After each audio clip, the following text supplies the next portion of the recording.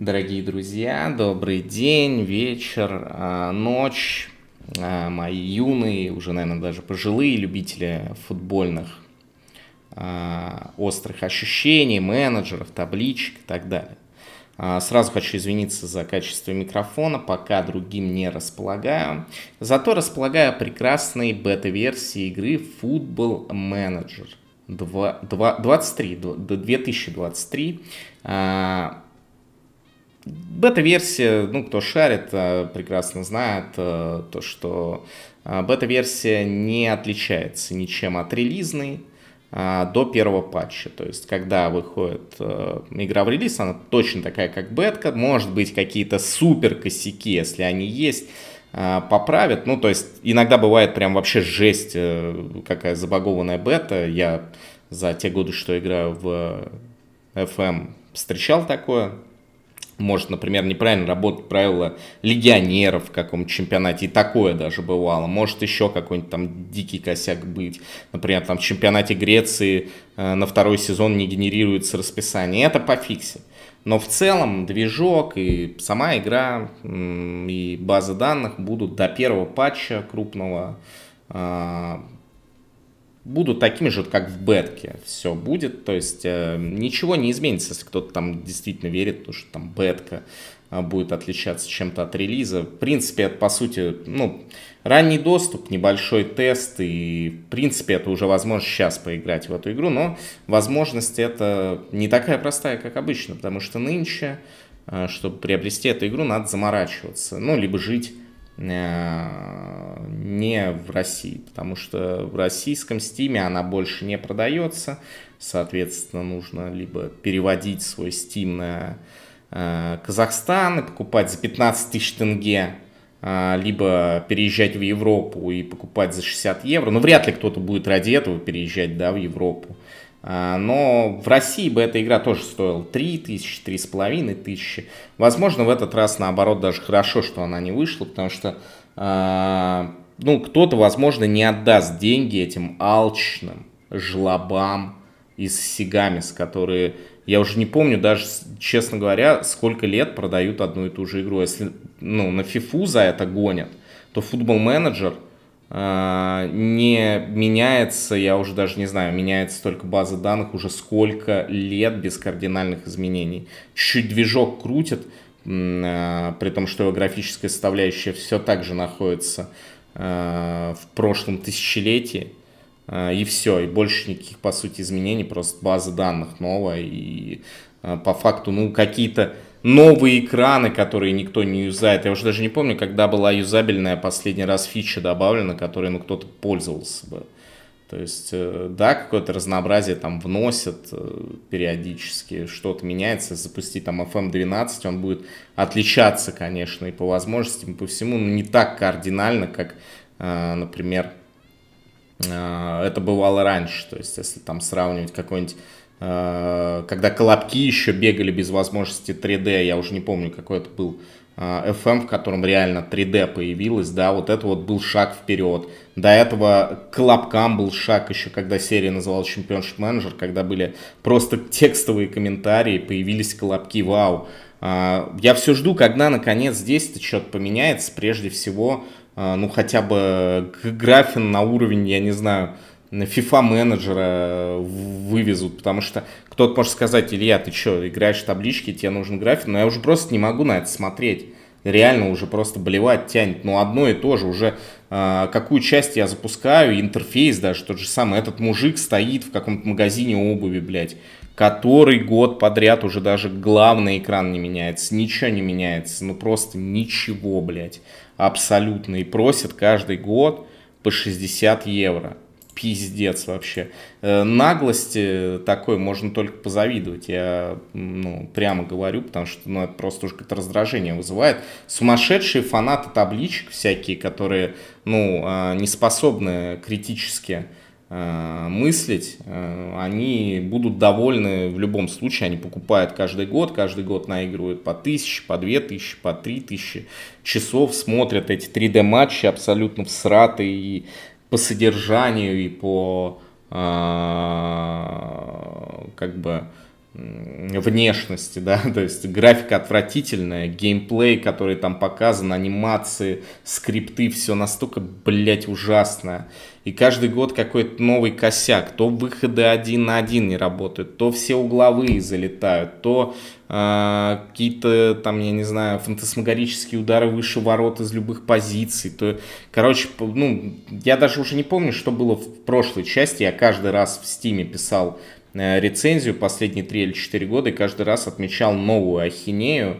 Сейчас а, можно было бы в Steam поковыряться, но у меня на другом аккаунте предыдущие версии куплены. Я там как раз расписывал а, самые ублюдские скрипты из прошлой версии. Я уже ну, не особо их помню, но мне это не мешало особо играть, но мне приходилось находить для себя какой-то челлендж, чтобы заинтересовать себя, да, то есть та же самая Андора, Обычные сейвы уже просто сил нет играть, потому что кажется, что ты в какой-то временной петле застрял, потому что FM ну реально не меняется. Играть в одну и ту же игру, прошу прощения, столько лет, это ок, это нормально. Многие играют вообще в игры без изменений десятками лет какой-нибудь Uh, не знаю, хотя нет, даже для ММО выходит обновление. Для этой игры, по сути, обновляется только база. Я согласен э, играть в одну и ту же игру, там 20 лет подряд, но все, что они выпускают как новую часть, можно абсолютно спокойно выпускать платным апдейтом за 300 рублей, блядь. Ну, серьезно.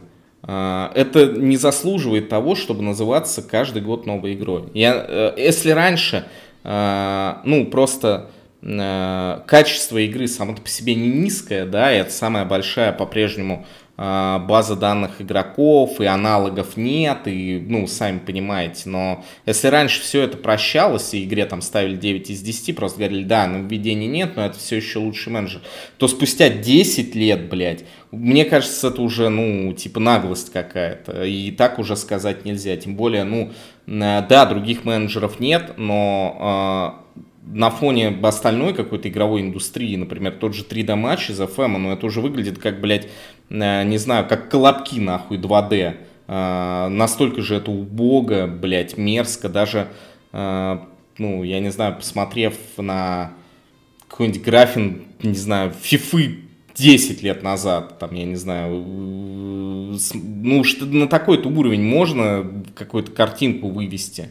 А, опять-таки, многие скажут, зачем ты вообще говоришь про 3D-матч, там большую часть карьеры те, кто шарит, крутит на инстант-резалтах, на холиках вообще там и так далее и тому подобное. Да нет, блядь, хочется уже как чего-то свежего, что-то новое увидеть на экране. Блин, да если бы мне сейчас показали э, этот э, экран и сказали, какая это часть там за последние лет 6, да я бы не угадал ни в жизнь. Они все одинаковые абсолютно. Давайте отключим э, скрытие свойств игроков и добавим, ну, к примеру, все топ-лиги, Англия, Германия, Из Израиль. Не будем, наверное, так. Франция не особо интересно. Испания, Россия, а, Италия. Ну, ладно, пусть будет и Франция. Все с первых лиг. Просто чисто базу почекать. Я в современном футболе не особо шарю. Вот, но все-таки интересно посмотреть Э, на каких-то игроков. А, так, и начнем, наверное, тогда в... Давайте в Италии из Ивентус у них как раз проблемы э, серьезные э, в реальной жизни, насколько я знаю, сейчас не очень хорошо играют, вылетели из Лиги Чемпионов. К тому же клуб перестал называться Зибре. Я, если что, никаких патчей не накатывал. Выберем Ювентус и э, стартанем. Э, если что, Российскую лигу не выкинули из игры, она осталась, но э, клубы, как и в реальной жизни, и сборная нигде не участвуют. Поэтому, ну, я не знаю, играть без каких-то дополнительных патчей, возвращающих э, Еврокубки, я думаю, а что нереалистично, естественно, на данный момент времени, я думаю, ну, неинтересно будет. А, так-то я обычно играл всегда именно а, в России, потому что сезон короткий, не очень напряжный. Но сейчас а, это полнейшая бессмыслица. А, вообще, я планирую на этой неделе, пока у меня еще нет возможности стримить, записать, записать несколько роликов на такую вот менеджерскую тематику. Я хочу а, дать еще один шанс FIFA менеджеру 22-му, ну, точнее, 14-му с патчем на 22 сезон. А, и э, сделать все-таки карьеру за летний дождик и выиграть Лигу чемпионов летним дождиком. Такова цель. И плюс э, я затестил новую фифу, может быть, если это видео соберет 5 лайков, я а, ну, поиграю в новую фифу тоже, в Ultimate Team. Мне там упал игрок за 2 миллиона. Это, наверное, лучший дроп, который у меня был когда-либо. Вот. А, ну, а у нас прогрузилась база данных. Давайте э, создадим женского менеджера, назовем...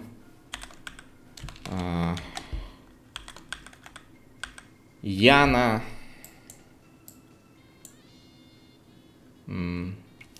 Спанелли. Итальянская такая тема, но второе гражданство мне лень выбирать, оставим Россию. А, дата рождения пусть будет помоложе, пусть будет свежая такая девочка, 8 марта, а, Международный женский день, прекрасный день, чтобы родиться. Так, ну что, сделаем 125 сантиметров, не знаю, миниатюрную такую, чтобы... Я не знаю, а, я считаю, что футбол реально очень сильно, как бы это сказать, сексуализирован, а, точнее наоборот, дискриминационно сексуализирован. То есть в кругом мужчины, и только сейчас появились арбитры женщины. Когда уже профессиональные клубы начнут нанимать 125-сантиметровых женщин – вот такого вот веса э, на должность главного тренера. Мне кажется, пора. Вот. Идеальный, мне кажется, тренер. Сразу почти все квоты, которые сейчас э, вводят в некоторых футбольных федерациях на, э, там, допустим, людей с э, определенным цветом кожи, полом, а, сексуальной принадлежностью, там, а, были бы закрыты одним вот таким вот а, прекрасным специалистом. Ну ладно, на самом деле, конечно же, я боюсь, что отвратительные футбольные мужики не будут слушаться такую даму, поэтому вот такую вот выберем, да. Ну, сну-сну, как, э, помните, была серия в Футураме. Сделать 3D модель из вашей фотографии. Конечно, конечно, добавить фото. Я уже подготовился. У меня есть вот такое мое фото. Сейчас мы будем, соответственно, делать модель, вырезать лицо. Звучит как-то, конечно, немножко по-маньячески, но ничего не поделаешь. Так, так, так, так, так создаем модель. Но это будет модель всем моделям. Модель, знаете, вот эти модели, фотомодели прошлого, они сразу уйдут. Ой, господи, какая няшка. Это точно получилось из меня? Да, я как раз хотел пошутить, что модели прошлого уйдут э, навсегда в прошлое, типа всякие там Где-то всех моделей забыл. Одна какая-то Шарон Стоун, бабка старая, крутится в голове. Ну, в общем, а, про них можно забыть, когда есть такая красотуля. Так, давайте прическу какую-нибудь достойную. Нет, наверное, это немного не то. Не, вот так вот выглядят женщины, которые увлекаются футболом, не удивляйтесь. Именно так. А. Даже не знаю, честно говоря. Не хочется выбирать что-то э, сильно э, сексуальное, потому что тогда футболисты могут перестать думать о кожаном мяче и о том, как его пнуть, будут больше думать о своем тренере. Вот это мне, хотя нет, это тоже как-то слишком симпатично. Блин, мне не нравится. Э, дайте другую, что-то не то дайте другую. Вот это гораздо более похоже на то, что мне хотелось. Я просто не ожидал, что мое фото такое сгенерирует что-то. Давайте попробуем вот так. Какая женщина получится из этого персонажа? Так. Не, ну а что, в принципе? У всех у нас есть женское начало. В конце концов, мы все вылезли из женщины, не стоит об этом забывать. Если, конечно, вы не вылезли из мужчин. Вот! Утвердить модель. Это то, что нужно. Макияж. Тональный крем. Так, вот такая вот помада. Что такое мушка? Да, сделаем мушку. Это родинка. Тени для глаз. Вау. Блять, получился Джаред Лето, знаете, из фильма «Отряд самоубийц». Ничего не поделаешь, ну... Никто не мог предположить подобного, но это получилось. Что уж теперь. Так, ну брови вот такие, да. Цвет глаз. Пусть будет голубоглазая, симпатичная. Женщина, ну и самые женские очки, которые я здесь вижу, это вот эти, безусловно, черные, с черной оправой. Или, знаете, какие-нибудь более радужные, пусть будут. Во, хо хо хо ля. Так, ну и осталось только определиться с прической все же. Так, давайте сразу цвет. Раз уж мы делаем Джареда Лето.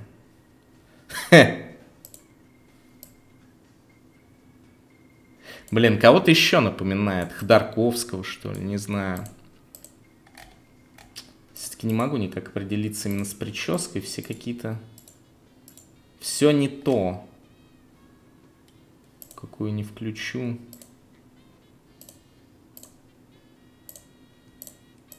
Что-то не хватает все время. Ладно, вот это вроде неплохо смотрится. да. Так, одежда. Смотрим, какие варианты одежды у нас есть. А, ну, я думаю, что... Давайте что-нибудь спортивное, не в пуховик же ее укутывать, когда это совсем страшно смотрится. Как будто она то ли беременная, то ли пивом нагрузилась. Не знаю, кошмар какой-то.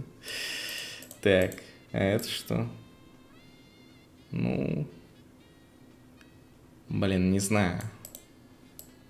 А где шарф-то? Здесь нарисовано шарфом, а шарфа и не дают. Я хотел шарфом сделать. Ладно. Ладно, давайте так. Это норм, я считаю, все-таки. Так, и цвет. А, какой-нибудь, может быть, розовый. Оп. Прекрасно. Прекрасно. И очень идет. А, зеленые туфли. И... А, какие-нибудь голубые штаны. Блин, это недостаточно голубые. Оп. Кайф. Аксессуары еще теперь есть. Теперь можно э, с этой одежды, правда, часы не видны, а ожерелье с этой одежды тоже не видны, но можно э, себе колечко выбрать. Пусть вот это будет. Любимый мужчина подарил. Стиль управления. А, окей. Начинаем игру. Клуб Ювентус вступит в свой э, 125 сезон под руководством нового менеджера Яна Спанелли.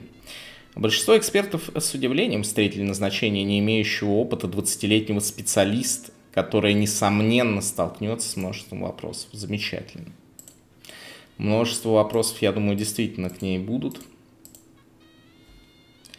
Так, сейвимся. И э, переходим, так давайте проверим расписание. Окей, и переходим сразу в состав тогда.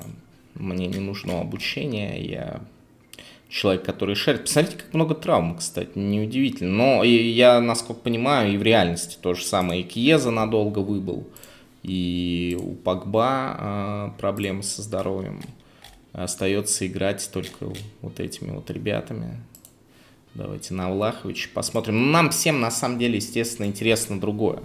Как выглядит Кокорин. Я думаю, все, кто запускал FM, сразу шли именно это проверять. Ну, выглядит примерно так же, причем в футболке Фиорентины, где-то его смогли сфотографировать, то есть он ее даже надевал. Круто. Отличные скиллы, мне очень нравится. Перспективный нападающий, но не знаю, стоит ли его брать в Ювентус или нет.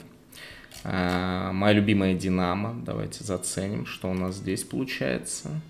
Мне больше всего интересны скиллы. А, я, правда, этого игрока вообще здесь не вижу. Какой-то причине. Где он? Может, в Динамо 2? Да, Саба Сазонов. Саба Сазонов, это, если что, а, ну, я слышал, что он собирается играть за сборную Грузии.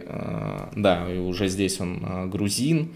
Это очень грустно, потому что Саба Сазонов это русский Рио Фердинанд. Это лучший нападающий в будущем мира, скорее всего. Возможно, а, следующий обладатель золотого мяча, последним был Коновара, по-моему, если мне память не изменяет, среди защитников. Запомните этот прогноз. Э, если вы сейчас смеетесь над ним, то когда он выйдет и возьмет э, Э, Кубок мира в составе сборной Грузии, ему дадут золотой мяч, вы уже не будете смеяться, вы добрым словом вспомните, э, что вы уже слышали о том, что так произойдет. Я абсолютно сейчас не шучу, конечно, скиллы у него просто смехотворные, это абсолютный бред и чепуха. Так, что по Тюкавину? Завершение атаки 14, это, по-моему, слишком много. У Тюкавина э, реализация моментов э, должна быть не больше двух, то есть э, финишинг 2 примерно. Все остальное, ну, плюс-минус похоже на правду, даже можно и лучше было бы сделать, потому что, например, принятие решений,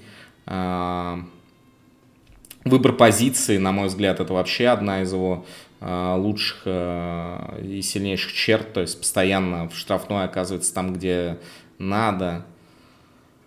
В общем, странно, странно. Техника тоже можно больше накинуть, что очень хорошо обрабатывает, принимает мяч. Координация 12 тоже маловато, на мой взгляд.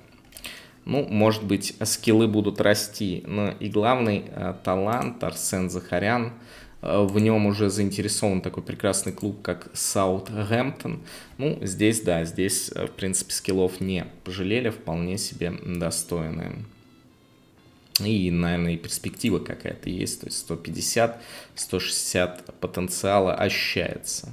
Уж не знаю, где и в каких чемпионатах этот потенциал будет а, раскрываться, потому что э, здесь теперь даже Еврокубков нет. Ну, давайте посмотрим тогда еще Спартак.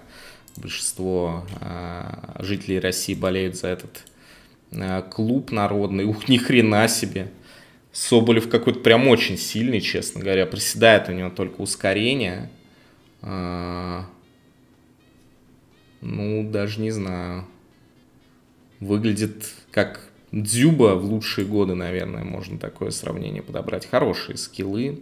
Ну, я думаю, что э, researcher, как и, как и все, мы в глубине души болеет за Спартак, поэтому э, неудивительно, что скиллы каким-нибудь хламарям, типа, посмотрите, ну, я не знаю, Павел Маслов, человек, который не умеет играть в футбол, а здесь у него скиллы ну, был лучше, чем у Саба Сазонова, будущего обладателя золотого мяча. Ну, какой идиот это придумал, я даже ну, боюсь представить. То есть, я не особо сейчас шарю за э, Спартак, давно уже не смотрю особо футбол.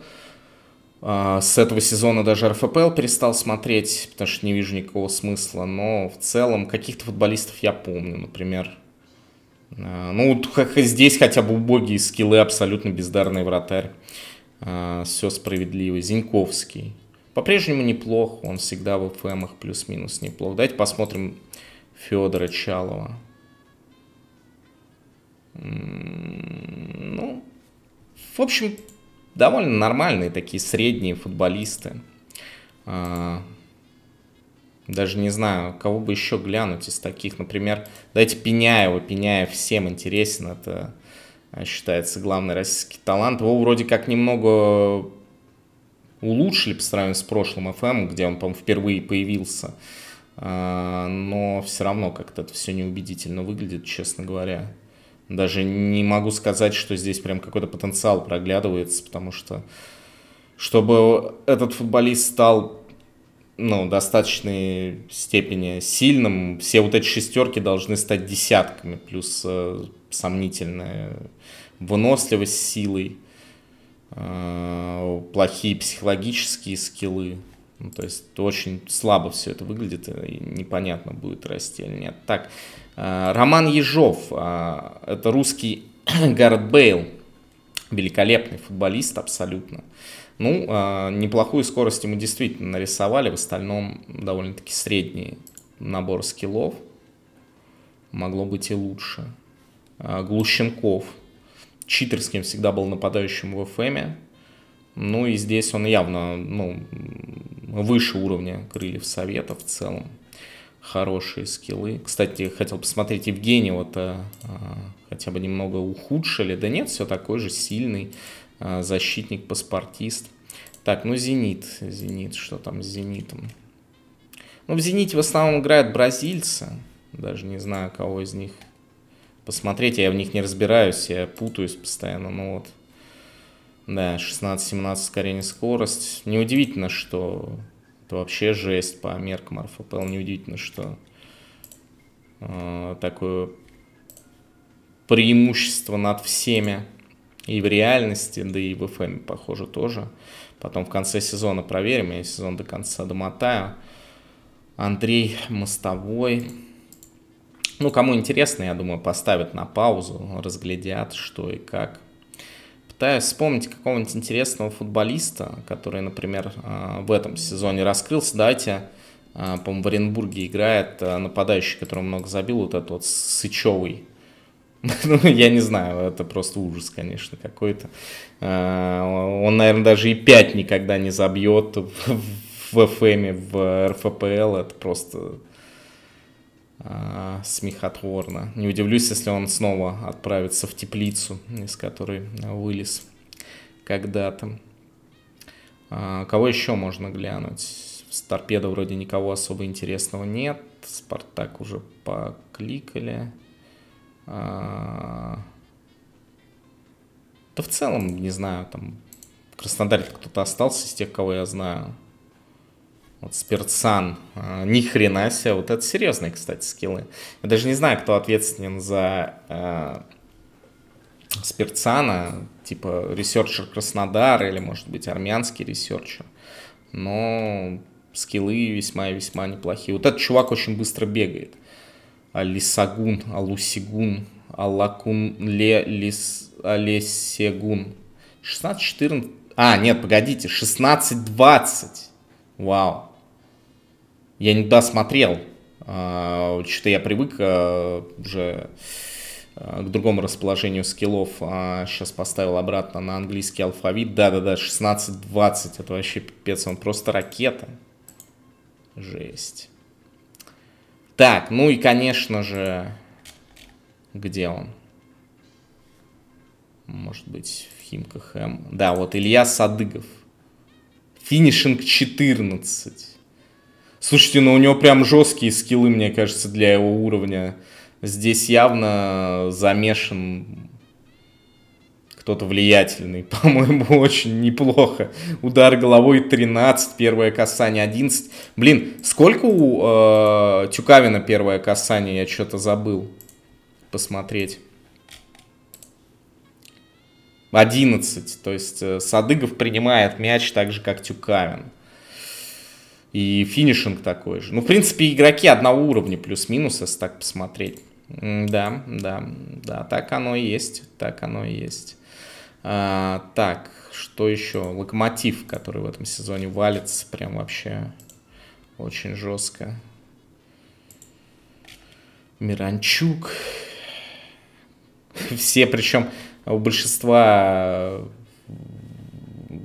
в клубов РФПЛ футболисты, легионеры в аренду отправлены. То есть теоретически они когда-то еще могут вернуться, но при этом Еврокубки, во всяком случае в этом сейве, да, начатом на этом патче, не вернутся точно. То есть у Динамо, я так понимаю, в какой-то момент вернется э, Шиманский. Только я не понимаю, он э, как у него с арендой в 23-м, да, и, видимо, будет продолжать играть. То же самое Маро касается, то есть они не проданы, они все в аренду уехали. Так, ну это с РФПЛ, а давайте посмотрим на АПЛ, в частности, э, Манчестер Сити. Ирвайн Хагеланд, самый, наверное, известный сейчас э, нападающий в мире, забивает очень много голов, я слышал. И это выглядит, конечно, страшно. Такая морда, блять, увидишь такого, сразу и не поймешь, что это инопланетянин какой-то. Да, как такого вывели-то только? То есть, ну, это природное явление или все-таки какие-то... Знаете, помните вот этот Рокки, где был Дольф Лунгрен, которого там закалывали какими-то жесткими анаболиками, растили там э, на каком-то стуле он сидел и взращивался, прорастал. То есть, ну, я, я даже не знаю. Э, у него же отец тоже футболист, но я видел там просто какой-то обычный чувак кто его мать в таком случае, мне даже трудно предположить. Может быть, Яна Спанелли. Так, э, все, в принципе, я еще знаю одного футболиста из современности, это Мбап. Вот он. Кулаян Мбап. Ускорение 20, скорость 20. Что еще нужно, казалось бы? Для современного футбола? Да, в принципе, ничего, наверное. Класс. А, все, на этом мои познания современного футбола закончены. А, я предлагаю а, выбрать какой-нибудь матч, например, Ювентус-Интер 2 октября и посмотреть на геймплей прежде чем мотать, решил э, посмотреть, может быть, взять какую-нибудь легенду на э, бесплатном трансфере. Здесь смотрите, сколько интересных персонажей. Э, Чан Сюку, э, знаменитый гонконгский бомбардир, между прочим. 36 лет, 68 игр, 37 голов. Да, это вам не шутка. Также э, Кейт Гумпс, Сент-Китсиц, 49 лет, 123 игры, 47 голов, ни хрена себе, и скиллы вполне себе э, неплохие.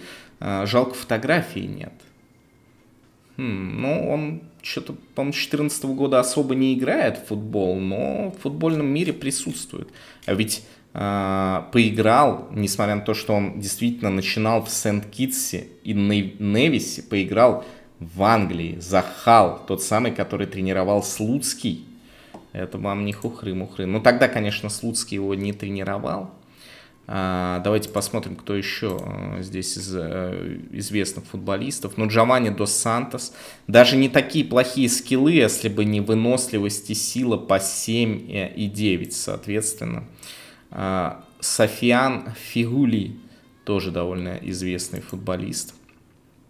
А, об Афине Мартинс. Если учесть, что я думаю, что об Афеме Мартинсу э, в момент, когда он, например, играл за Интер и считался 16-летним, было уже лет 50, то я даже боюсь представить. А, а это было 20 лет назад. То есть сейчас ему 70, скорее всего. Его при этом еще несколько лет назад за 4 миллиона кто-то купить умудрился в Китае. Это, конечно, жестко абсолютно. Об Афиме Мартинс 37 в скобочках 80. Э, Вильфред Бани, кстати, его же за большие деньги, по-моему, покупал Манчестер Сити. 38 миллионов, охренеть. Сколько он за них забил? 6? Хм. Ну, достойная результативность, то есть э, один из известнейших, э, сильнейших нападающих Германии, Вернер забил примерно столько же за Челси. Реза Гочан Гончо Гучо Вот такой вот знаменитый иранский нападающий. Кстати, действительно, посмотрите, он действительно, похоже, довольно известен. Я про него никогда не слышал, потому что я бы, конечно же, запомнил такого персонажа, но даже играл в Херенвене и забил 19 мячей не так давно, причем уже практически будучи зрелым футболистом. Кто еще? А, Эммануэль Маюка, тоже какое-то э, знакомое что-то, знаете ли. Почему знакомая, трудно сказать, потому что я, нет, я вряд ли его знаю. Но Замбиец. Рикардо Куарежма, это уже серьезно. Вау, какие скиллы. Очень жалко, что, что ускорение 9, скорость 10, но зато навесы 20 вот этой внешней стороной э, стопы. Блин, даже хочется приобрести. Человек э, был эм, перспективнее Рональду, Криштиану, э, считался. Сейчас, конечно, их класс не слишком разнится на данном этапе карьеры, когда она уже подходит к концу, но тем не менее.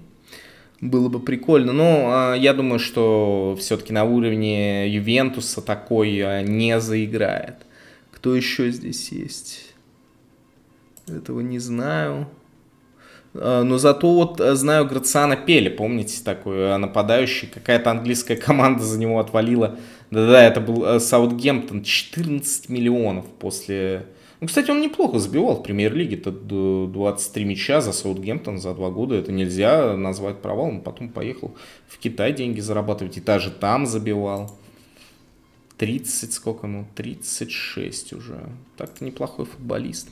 А, Сейду Думбия, это человек, который старше об Афеме Мартинс. Посмотрите на его фотографию. Это причем было сделано в ФК Сионе. А, ну, а, два где-то года назад он уже был глубоким стариком. Вот у него, кстати, ускорение и скорость 15,11 сохранились. И даже, в принципе, где-нибудь в РФПЛ он бы до сих пор мог играть даже на уровне, ну, вполне приличного вполне приличного клуба.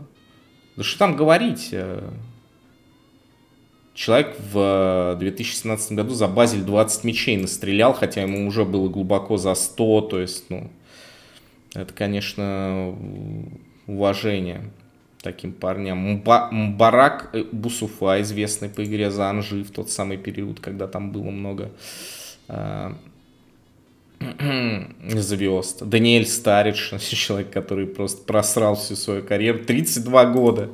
Просто посмотрите, как он плох.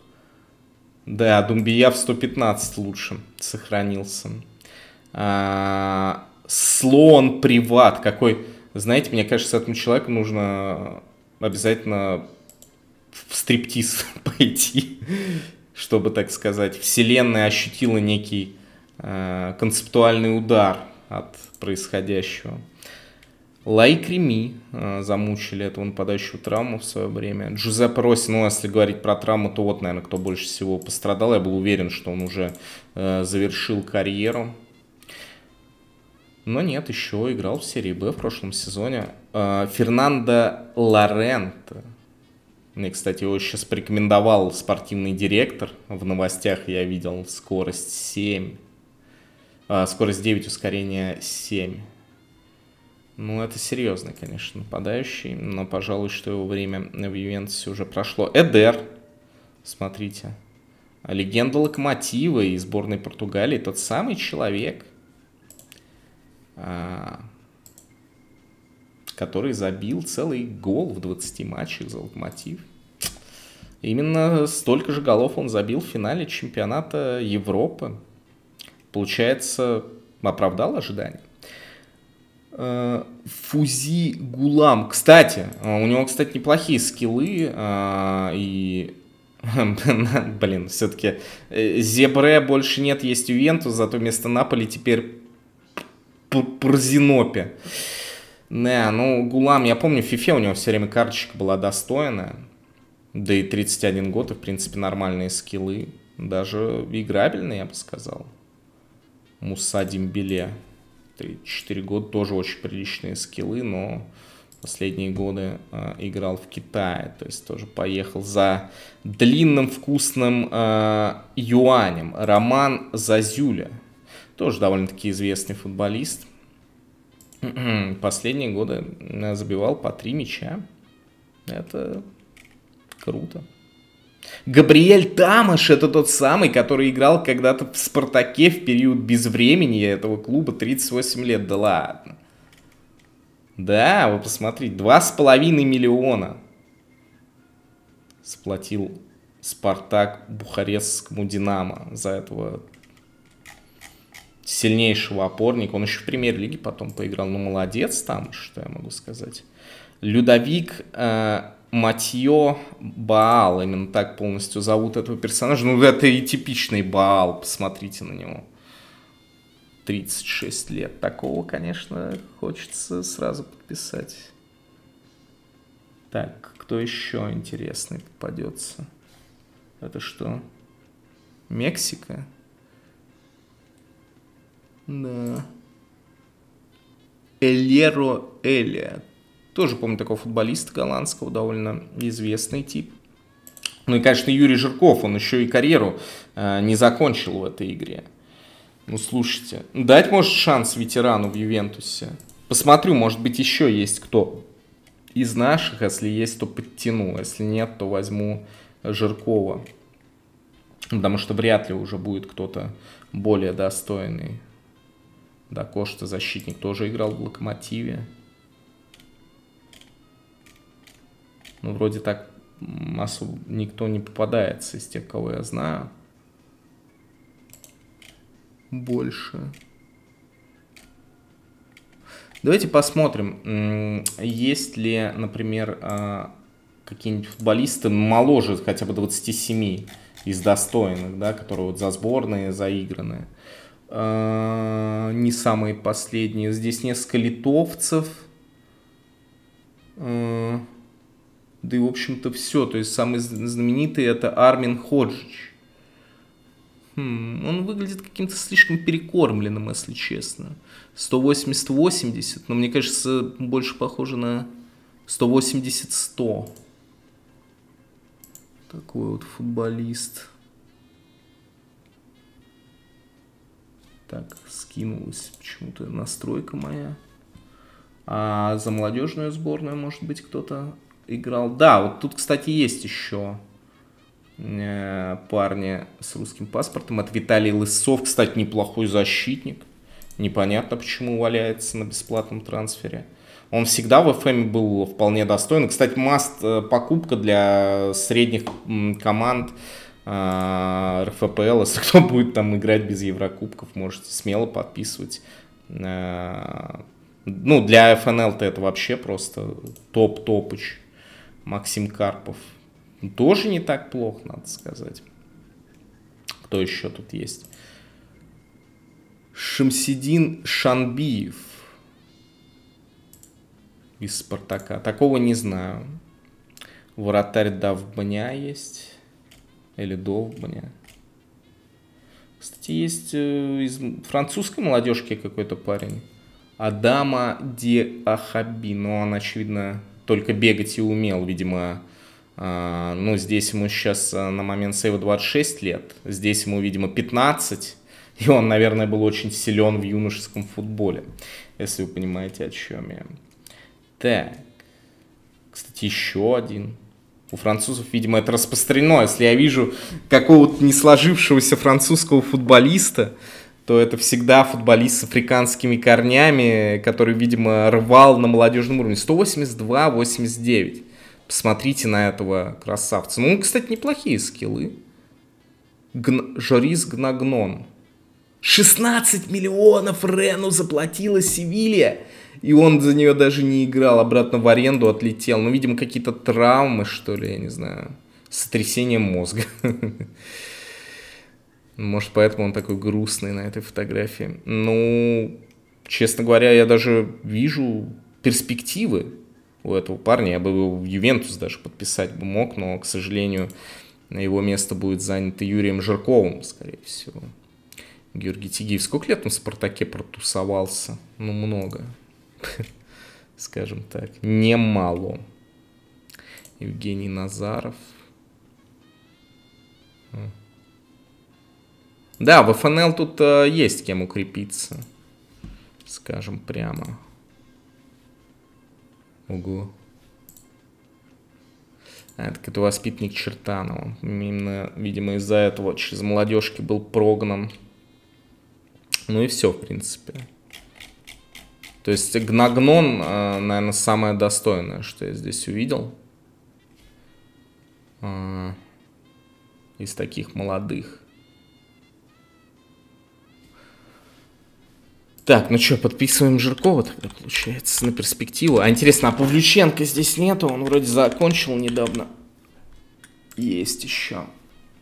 Но уже тяжеловато будет из него сделать суперзвезду, конечно, Ювен... Ювентуса. Все-таки скиллы уже не так э, впечатляют, как когда-то. А жаль. Хороший был нападающий. Можно было бы дать ему второе дыхание, но мы будем подписывать Юрия, конечно же, Жиркова. Если у нас вообще есть слот на иностранцев. К сожалению, нет. Только двух игроков, не входящих в Евросоюз. Увы, не будет. Ну, тогда возьмем Гнагнона. Не уходить же с пустыми руками. Я, правда, не знаю. Мне кажется, что... Да не, даже что-то не уверен я, что нужен мне Гнагнон. Я хочу какого-нибудь крутого нападающего.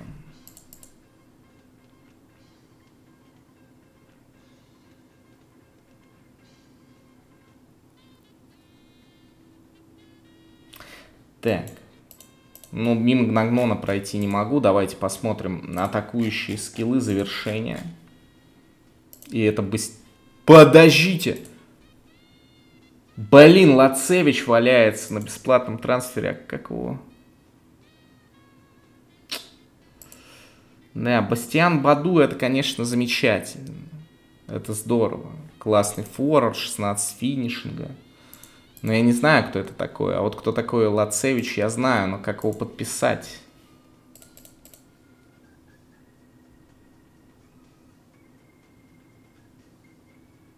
А, он же, не дай бог, закончит еще карьеру. Но я так понимаю, да, уже подписаны оба.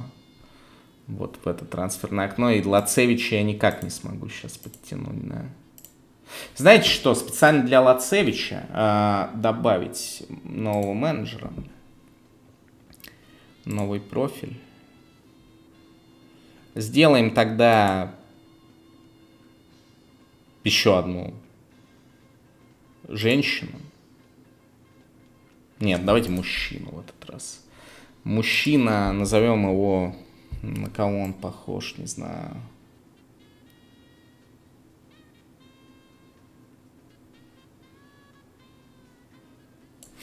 Kingdom Нгуае. Пусть он так будет называться. Это, в принципе, и не важно.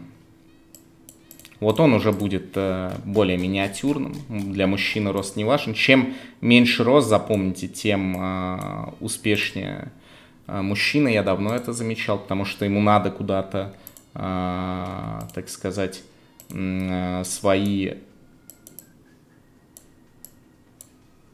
комплекса.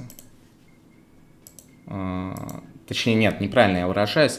Надо как-то а, справляться а, с тем, что природа не наградила его ростом. Он более стремительный, такой, знаете, стремящийся к успеху.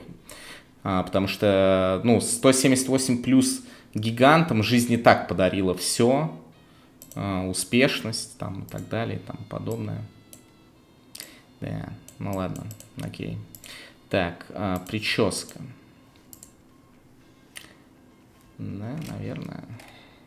Нет, вот, наверное, более такая. Нет, тоже не, не то. Все-таки вот это более африканский вариант. Так. Брови. Растительность на лице.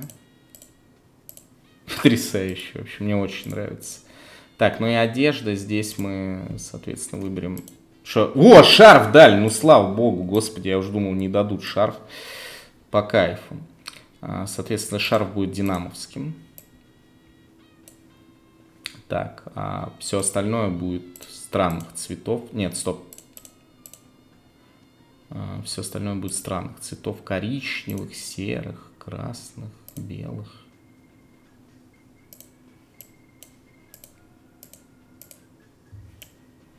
Выглядит здорово. Мне нравится аксессуар. Вот и на часы посмотрим. Но это очень важный выбор, естественно. Это одно из нововведений, мы не можем его не отметить. И э, мы берем тогда, получается, э, Барселону, да, действительно, Барселону. Э, и попытаемся сейчас Долацевича подписать. Надеюсь, здесь это удастся сделать, потому что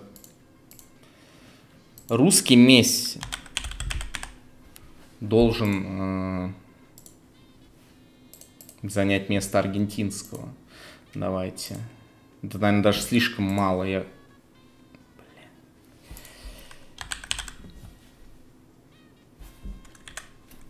Не то нажал.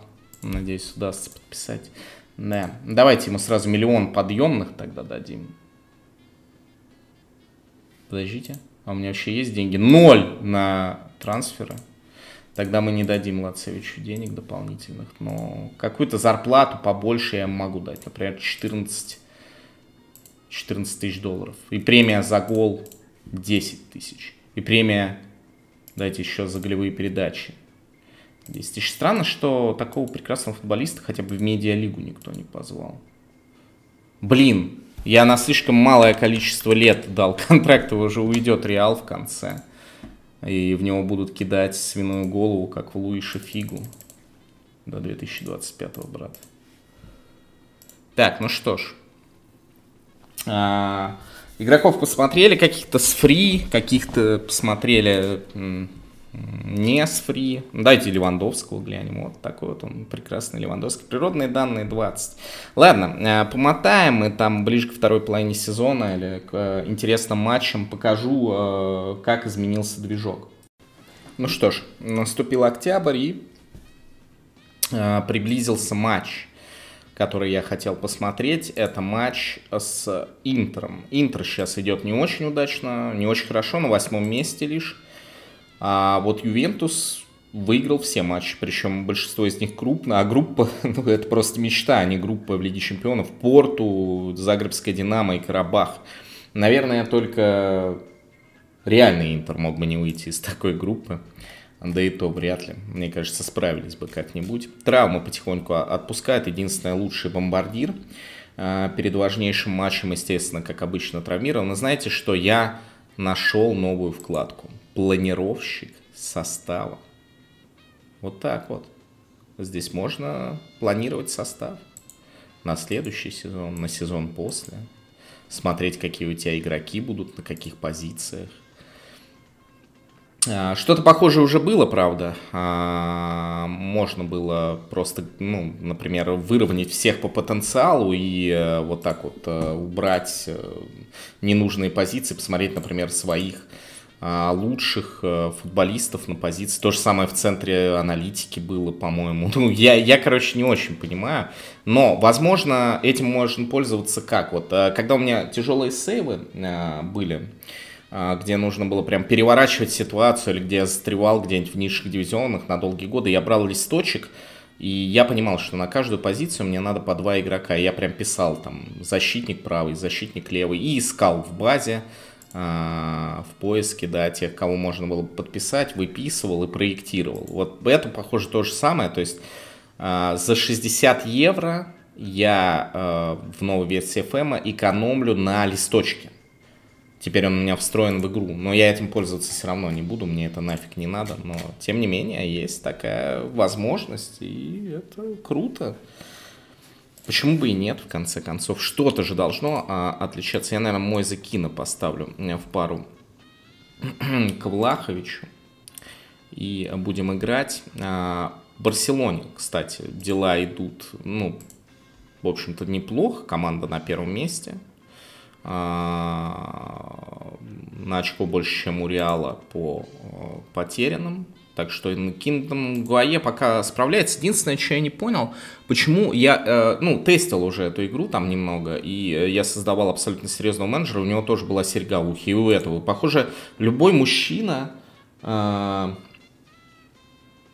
которого вы создаете в этой игре, награжден серьгой. Э, ну, так как игра не называется Корсар или Сидмейр Спираты, то я думаю, что а, намек понятен, как там Лацевич, 8 игр, целая голевая передача, ну неплохо идут дела, это радует. Ну что ж, А, вот она битва. Яны Спанелли против Симона Инзаги. Посмотрим, посмотрим, что получится.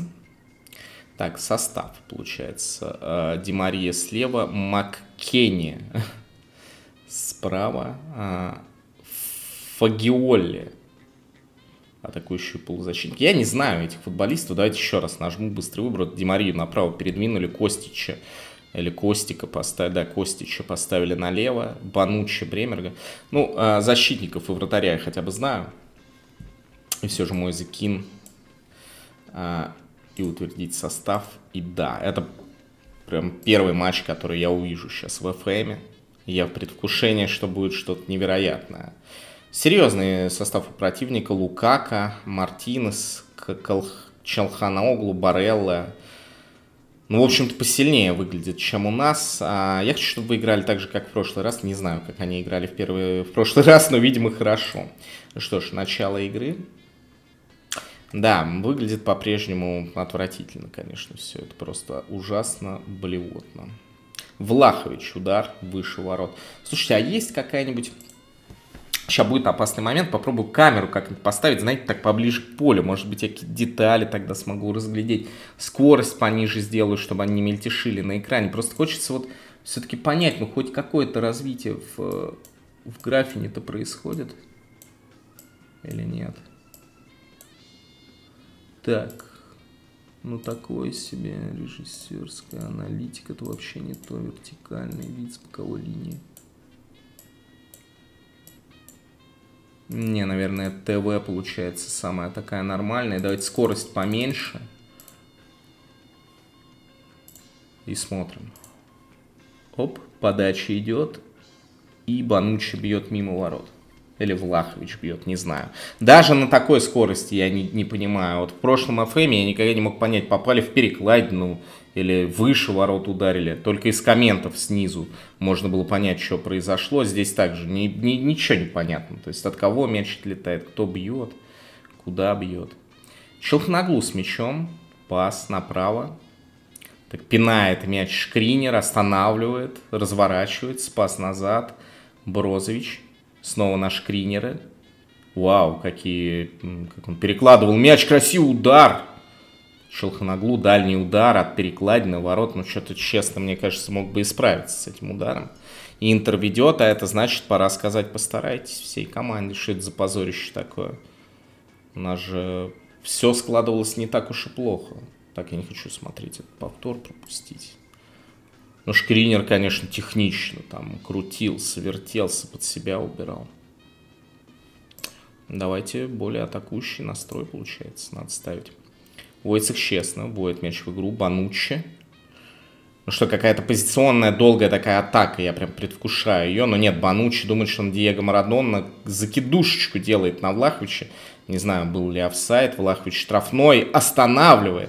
Пас назад, ничего себе не ударил с нулевого угла. И Димария каким-то безумным абсолютно ударом по невероятной траектории закидывает мяч в дальний угол. Ну, что я могу сказать? Давайте еще раз посмотрим вот этот момент. Вот это мне понравилось. Прям хоп и назад. И Ди ух, как закрутил. Прям самый уголок. Вратарь красиво прыгнул. Ну, в рамках э, графония, конечно, этого. Но выглядит это все... Ладно. Деври с мячом на Челханаглу. Неужели киков глич мы сейчас увидим? Футболисты по-прежнему проходят сквозь друг друга. Снова Деври на Бареллу. Барелла хороший футболист, конечно. Ну и э, я уж испугался, что это на красную. Подкат Костик. Банучи. Ну что, Банучи, может быть, еще одну гениальную передачу. Вместо этого играет направо. Квадрада. Бежит выбивает Димарк мяч, так что он к Влаховичу приходит, и тот накидывает Хандановичу просто так, типа, на, на, на.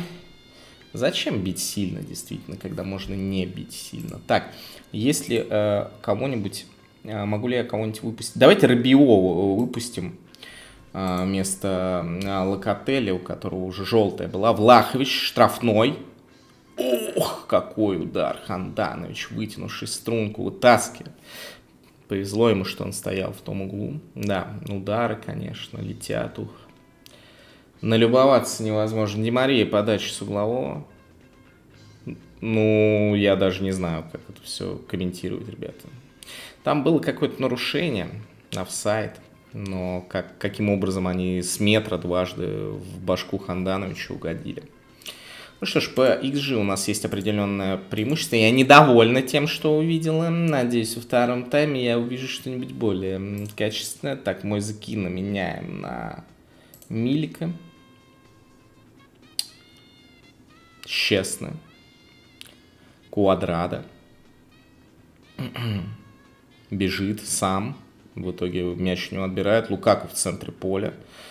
Под прессингом отдает на Брозовича какой-то странный отскок, Лутар Мартинес бьет в штангу э, в ситуации, где, ну, тяжело, мне кажется, было в штангу попасть. Дайте осторожно, я включу снова.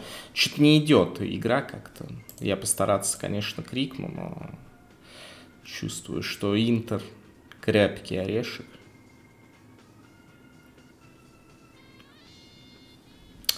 Не. Костик подустал уже. Ну, Киеза еще травмирован, выпускать его сейчас нет какого-то особого смысла, мне кажется. Дайте Винстона Маккенни выпущу. Блин, надо было вместо Рабиота Паредеса выпускать. А что если я сделаю обратную замену? Гениальные тренеры женского пола способны на такие мувы, я уверен. Что-то Интер атакуют, мне кажется, слишком много даже. Давайте пойдем в атаку под конец. И постараться. Ну, а, определенно выглядеть все это стало с каждым годом, там, начиная с 12 как вот этот примерно вот такой вот 3D матч появился именно в таком виде, да, он с каждым годом чуть менее дерганный, чуть как-то, ну, в общем и целом все равно выглядит стрёмно. Я уверен, что через один-два сезона вы, будь, вы увидите все и будете просто стараться максимально э, по возможности скипать это 3D, чтобы оно меньше раздражало. Хотя есть, конечно, люди, которые один сезон играют месяц и смотрят все матчи на полных там моментах, но это особые люди, я их так называю. Ж, неплохой, в принципе, пас на Милика, но обработка какая-то стрёмная. Впрочем, Влахович и бьет Хандановича. В игре было два выхода, один на один, один в ш... три, наверное, все-таки Влахович там под углом тоже, можно сказать, выходил, то есть и все вот было не забито абсолютно бездарнейшим образом. Что неужели опять та часть, где форварды мирового класса не могут переиграть вратаря? Челханаглу на Лукаку и все на этом. Похоже, больше моментов не будет. Хотя нет, вот 87-я минута. Бремер на Данилу. Данилу красиво обрабатывает. Вот именно мелкие какие-то анимации, обработки. Чуть поменялись. Не было ли здесь офсайда? Лукаку забивает, но я бы вар посмотрел. Мне почему-то показалось, что надо смотреть. Нет, гол защиты 2-1. Интер, похоже, выигрывает все-таки. Не повезло мне в моем первом матче. Наверное, вот этот вот защитник Бремер обосрался. Ну, Лукаку момент реализовал. Так, сверхатакующий. Но уже, наверное, поздновато. Да, да. Но это было очень стыдно, что мы проиграли принципиальному сопернику, это ужасно. Надеюсь, такого не повторится. Я стал мотиватором и искренне надеюсь, что э, сейчас э, начнут поправляться все футболисты. И уж э, с такими зверьми, как Кеза и Пакба, мы сможем выиграть серию Ну что, друзья, сезон-то непростой, сезон с чемпионатом мира. А, и он уже закончился. Ну, я думаю, что вы уже видите, что обладателем титула стала Аргентина, то есть Лионел Месси все-таки добился своего. Но вот как э, развивались дела. а, собственно говоря, на этом чемпионате. Из группы с Сенегалом, Голландией, Эквадором и Катаром Сенегал и Голландия вышли, причем Голландия со второго места. Англия, США а, вышли из группы, в которой еще были Иран и Уэльс. Англия уверенно, выиграв все матчи. А, то же самое сделала Аргентина в своей группе. Мексика заняла второе место, Польша и Саудовская Аравия борьбу не продолжили. Франция с Австралией вышли из группы D. Дания и Тунис вылетели. Причем здесь у Австралии, Дании и Туниса было по три очка, и все решалось дополнительными показателями. Испания э, и Германия а, прошли дальше, ожидаемо выбив Коста-Рику и Японию. А, хорваты вот э, не вышли из группы. Тут, наверное, первая такая большая сенсация. Марокко с Бельгией вышли. Марокко с первого места. Сербия а, вышла с первого места в группе с Бразилией, Швейцарией и Камеруном. Неплохой результат. И Португалия с Уругваем вышли, выбив Южную Корею и Гану. Дальше был второй раунд. Здесь какие из э, результатов-то интересные наиболее. Это, наверное, поражение Франции от Мексики со счетом 1-5. Уж не знаю, что там произошло. А, да непонятно, что здесь произошло. Просто 1-5, знаете ли, причем вполне по игре. Бывает и такое. А, Уругвай выбил сербов. А, немцы просто разгромили. Марокко, Португалия победила Бразилию. Дальше, в четвертьфинале, Аргентина в дополнительное время победила Сенегал, будущий чемпион, едва не вылетел. Уругвай выбил Испанию, Англия выбила Мексику, Португалия Германию. В полуфиналах Аргентина лишь по пенальти победила Уругвай, Англия разнесла Португалию. Обычно англичане выигрывают в первых сезонах все крупные соревнования. Португальцы взяли третье место. Не знаю, что там в финале произошло, но что-то произошло. А, Решфорд не забил пенальти. В общем-то, равный был матч. И на 91-й Энце Фернандес э, забил. А, кто это вообще такой? Э, полузащитник, э, который из, из Ривера перешел в Бенфику. На 91-й минуте он забил решающий гол. Даже интересно посмотреть, какой же он был, этот гол. Ну, то, что англичане, как обычно, клоуны пенальти не забили, это даже смешно. А вот и тот самый гол. А, окей, а, погодите, но его записали на бьющего? В кого он попал-то вообще? Вот удар. А, ну, ну мне кажется, это Стоунс все-таки забил автогол. Забавный. Такое нечасто раньше встречалось. Ну, рикошеты, конечно, были. Вообще, как-то дальние удары очень круто летят в этом FM. Я, правда, всего один матч сыграл, но я уже имею свое мнение. Так, вышли мы а, из отпуска и включили запись, потому что великое противостояние сейчас будет Барселоны и Реала. Барселона проиграла 2-7, я так вижу, в товарищеском матче Ньюкасл. Ну, Ньюкасл это будущий грант, победитель Лиги Чемпионов. Надо начинать за него болеть. У Ювентуса все не очень хорошо сейчас идет. Кто, э, кто вот не смотрит в будущее, да, не верит там в золотой мяч Сазонова, там в то, что Ньюкасл станет чемпионом, те сильно, а, победителем Лиги Чемпионов, те сильно заблуждаются. Надо а, заранее такие вещи предвидеть, надо заранее становиться глориком, чтобы потом говорить, что вы болели. Но если вас спросят, вы говорите всегда «я болел» еще во времена Ширера. Поняли? Я вас только что научил всему. Так, ну, Педри нам, конечно, не нужен. Кто такой Педри, когда есть Лацевич? Не надо смешить, так сказать. У них, в принципе, статистика и оценка примерно одинаковая. Ну что ж, первая Эль-классика для Станислава. Такой вот состав. Терштеген, Кунде, Арауха, Кристенсен, Альба, Де Йонг, Лацевич, Фатиде, Дембеле, Депай, Левандовский – так хочется задать вопрос, а что здесь делает такой бомж, как Дипай? Он еще играет за Барселону? Ладно. Давайте, замотивировал всех. И мы начинаем. наблюдать за этим матчем. Бензима, Родригес, Милицао, Милитьяо, Родригес, Рудигер, Милитьяо, Модрич, снова Милитьяо. Ну, а перепасовка, в общем, Реала. Вот выходят, выходят они из обороны. Похоже, уже самая первая атака у них будет очень опасной. Ой-ой, какое-то столпотворение на фланге, никто, как обычно, не идет в отбор, все тусуются друг рядом с другом. Да, это был не момент, нам просто показали то, как выглядит футбол, его изнанка, так сказать. А, блять, какого черта? Я ненавижу просто, когда показывают э, вот эту режиссерскую камеру, просто терпеть не могу когда стандарт, вот каждый, кто играет э, на этой камере, когда у вас стандарт, угловые завороты, штрафные, вы человек, который мне не нравится, я бы вас сплюнул, ребят. Ставьте ТВ и смотрите по-человечески футбол.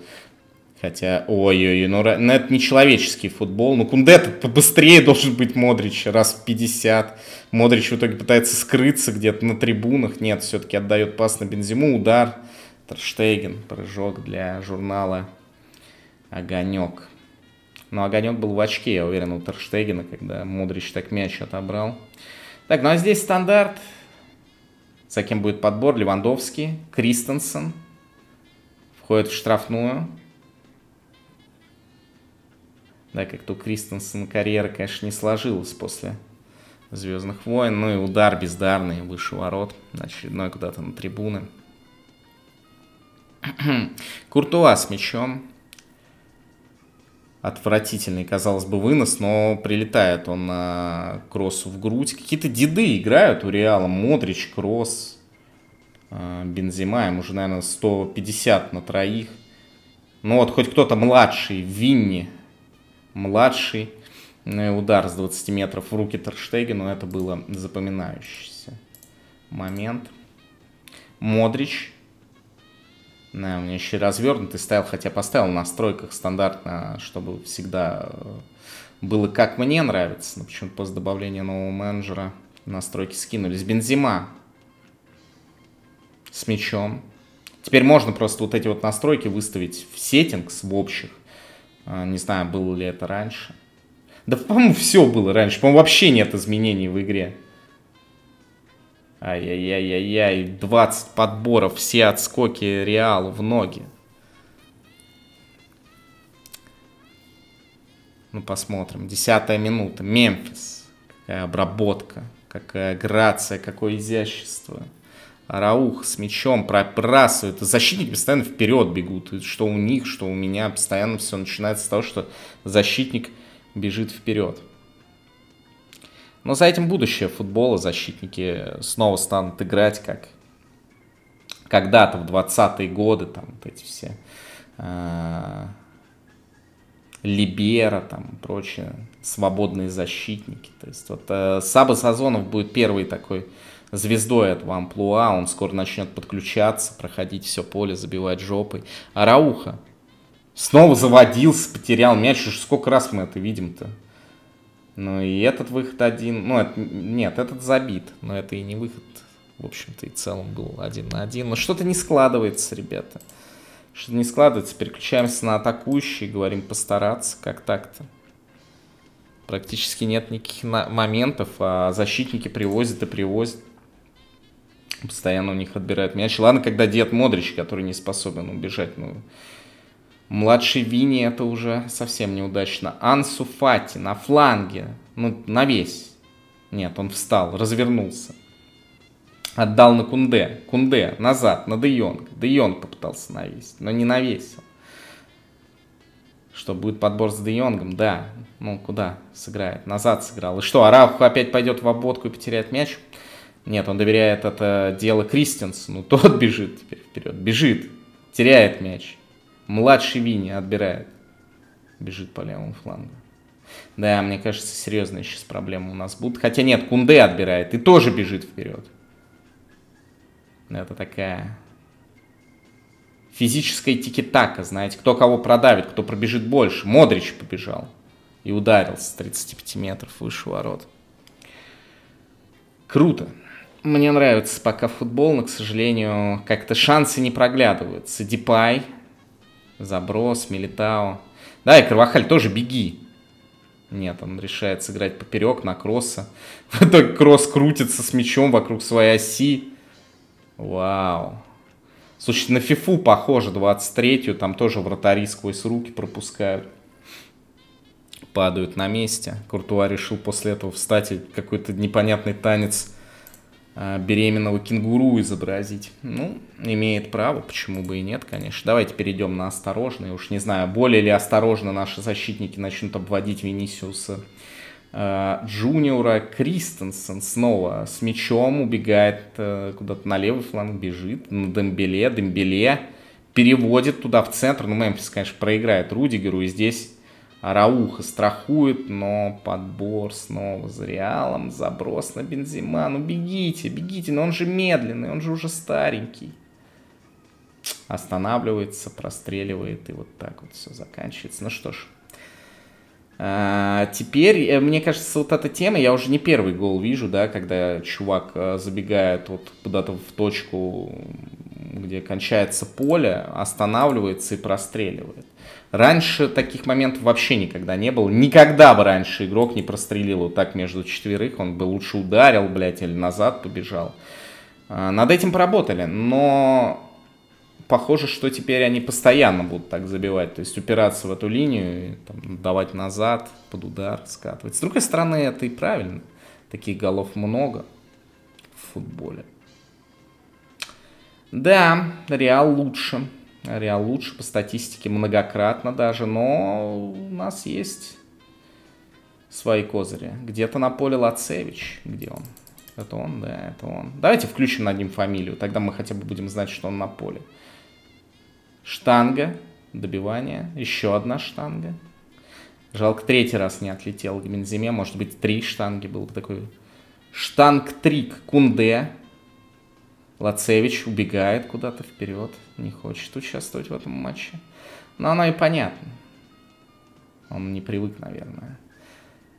Снова игроки проходят сквозь друг друга. Вот, подставься! Нет, Лацевич вместо того, чтобы подставиться под Родригеса, просто вошел в него. Да, позорно, позорно, Терштеген. И теперь вот та, то, ради чего мы брали, собственно говоря, э, Лацевич. Сейчас Реал решает, что все сделано смотрит на бездарную игру наших, а я тем временем выпускаю Педри, и все меняется на поле. Не будет такого, что 21 удар, вот это все. Играете просто уже... Сейчас вы просто охереете от uh, того, как изменится игра. Смотрите. Начало камбэка. Кунде. На Дипая. Снова Дипай. На Де Йонга. Де Йонг в отличной позиции. Удар! Гол! Это великолепно. И это еще не все, ребята. Это еще не все, это только начало. 3-2 становится счет. А, Левандовский еще пока только один забил. Я думаю, для такого мастера один гол это слишком мало. Де Йонг. Заброс вперед. Ха. Тут никого не было. Один Алаба стоял. Возможно, возможно, Де Йонг перепутал его со своим футболистом. Да, вот Венисиус, наверное, не получится догнать и срубить. И он как-то издевательски. Ну, это ничего страшного, мы переходим в сверхатакующий режим. Что-то не получается у крайних защитников. Постоянно Венисиус э, упускают. В основном это Кунде обсирается, я так понимаю, да. Да, да, печально, печально на это все смотреть. Но ничего, возможно, 4-3 мы сделаем сразу. Кристенсен, на Кунде. Ну-ка, Кунде, давай, исправляйся, сделай какой-нибудь мув. Ну, такая интересная передача. Алба выходит один на один и вколачивает мяч в сетку. 4-3, дамы и господа. Что-то хочет посмотреть судья, но мне кажется, гнусное занятие он решил затеять. А...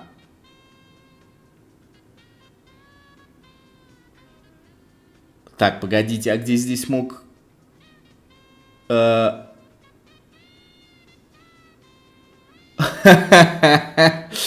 ну, э, да, но насколько я знаю правила, Левандовский не был участником этого эпизода, типа, и как бы, блядь, мяча не трогал, то есть... Э, и это не был удар по воротам, это был пас на Албу. Я не очень понял, если честно, что сейчас произошло. Но судья гнусный тип, мразь какая-то, гнида, говнарь, поэтому, собственно, ничего удивительного. Конечно, теперь уже вряд ли получится отыграться. Весь мой камбэк, он был задуман именно таким, то есть сразу после 4-2-4-3 и потом полный надлом, то есть э, Реал переломлен пополам, но вместо этого мы сами видим, что произошло. Так, ну давайте Бускетса выпустим. Ну, практически выровняли статистику. 39 на 9, 11 уже. То есть в конце атаковали, но... Ну, судья, что тут еще сказать? Я даже... Ну, я, я просто не понимаю. Я считаю, это баг. А, ну, это на самом деле... Спешно покинуть зал. Это на самом деле баг какой-то, потому что, конечно, ни о ком офсайде здесь и речи быть не могло. Ой, в Лиге Чемпионов Ювентус попал на Барселону. Ну что ж, это значит, что либо Спанелли, либо Нгуае а, пройдут в одну четвертую, если их не уволят обоих. Так, ну что ж, а, конец сезона, и у меня просто грустнейшее известие. Нас покинул Кингдом Нгае. А, его больше нет. Его карьера была закончена после того, как он уступил триллере туринскому Ювентусу по сумме двух матчей, как это было, 4-4 в гостях. И, точнее, для Барселоны это был домашний матч, и 3-2 а, проиграли они в Турине. После этого все разладилось. Команда скатилась аж на четвертое место, перестала бороться с Реалом. Ну, вот тут вот видно. Погодите, это что такое? А, вот. Здесь вот видно, а, что пошли какие-то непонятные результаты. Да еще и в первом круге, я смотрю, было все не очень хорошо. Реал доминировал. И, в общем-то, Кингдома прогнали. А, его, а, так сказать, протеже Лацевич остался в команде, но, естественно, больше не играл. Так, в 15 играх два голевых паса – это его результат. Большего не получилось у восходящей и уже затухшей российской звезды. А касательно Ювентуса, то Ювентус дальше вылетел от Баварии. Ну, Бавария сильна, ничего не поделаешь. Зато, несмотря на такие довольно средние результаты, поражений мы видим достаточно вполне, да, в Кубке вот в полуфинале вылетели. Ну, хотя нет, в чемпионате-то неплохо шли. В чемпионате вот одно поражение от Лацио, все остальное победа, особенно второй круг смотрелся неплохо. И за тур до конца Ювентус имеет возможность стать чемпионом, если в последнем круге, э, прошу прощения, в последнем туре второго круга обыграет команду Бараянза с 14 места причем матч будет домашним. А, ну, а, проведя некоторые исследования, которые заняли у меня ровно 2 секунды, а, я сделал вывод, что, скорее всего, Браянза – это футбольный клуб Перуджа. И, соответственно, будем играть мы в последнем туре именно против них. Ладно, я ищу, это Монца, здесь это написано. Это клуб новый бывшего владельца Милана, насколько я знаю. Также, кстати, есть еще некоторые приколы в серии А, например, ну, помимо Наполи, который здесь Партинпоп, э, это Саленто. Я бы, кстати, предположил, что это Салернитана, но это Лечи, например, да, то есть Салернитана называется Салернитан, с ее названием полный порядок.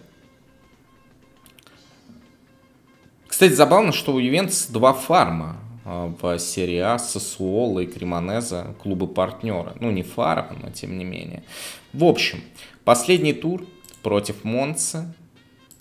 Давайте уйдем в отпуск до этого матча и попробуем выиграть первое чемпион. Но оно на самом деле не первое. Я покрутил еще там парочку сейвов ради интереса, кое-что потестил. Uh, уже выиграл чемпионство. Но такой вот прям вот на запись, да. Посмотрите вот эту вот дуэль с панели против Дезерби не слишком большие различия во внешности у этих господ, э, ну и дам.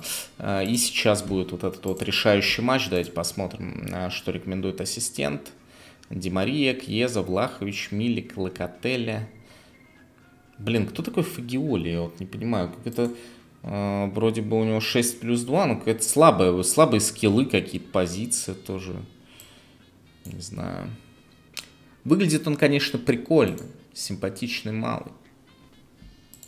Но неужели нет никого лучше на позицию атакующего полузащитника? Вот мне кажется, вот этот парень Маккенни, американец, он даже по перспективе не будет. Давайте-ка я его поставлю. А у него, вот видите, нету какой-то связи такой с остальными игроками. Тут еще Пакба есть.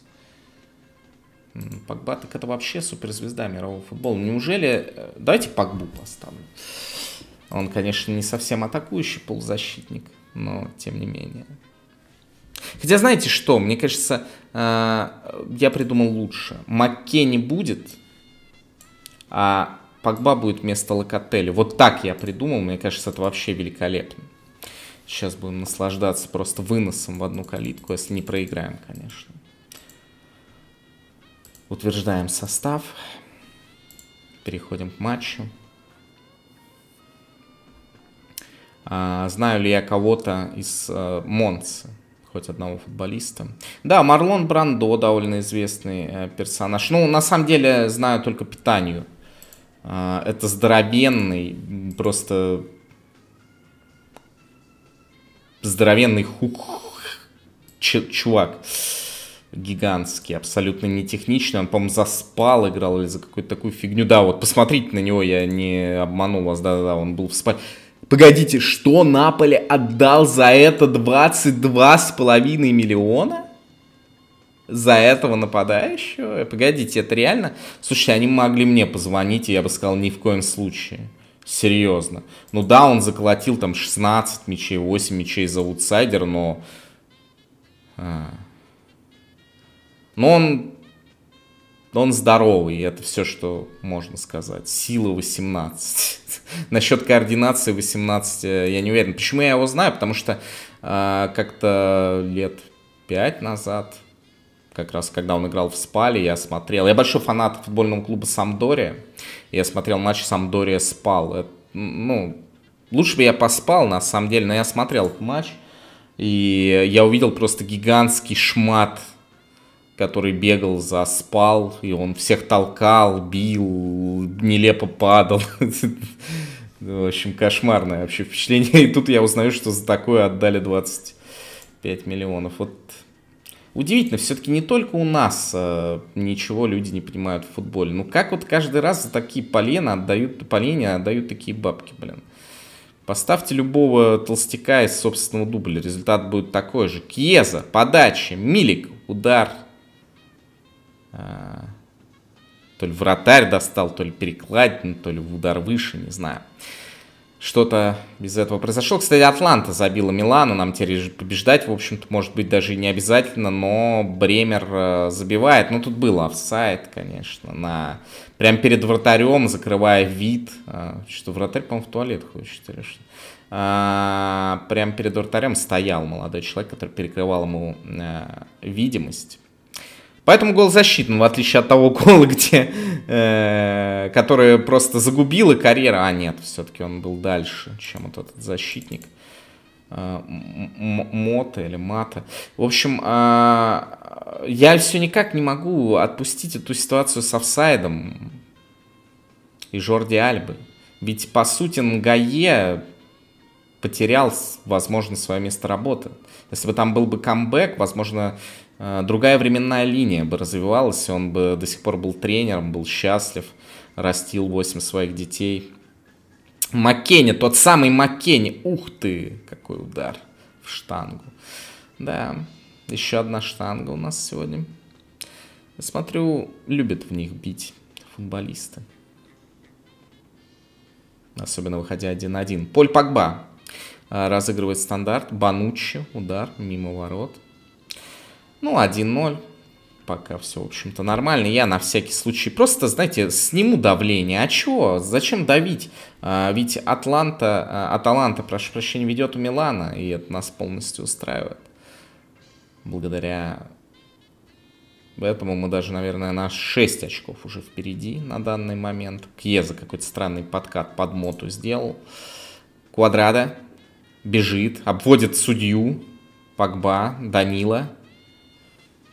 Данила на Кьезу закидывает. Кьеза красивая обработка такая в прыжке, в одно касание прокидывает мяч. Мяч какой-то большой, кстати, размером с пол ноги. Но это, наверное, условность, иначе бы его видно не было, наверное.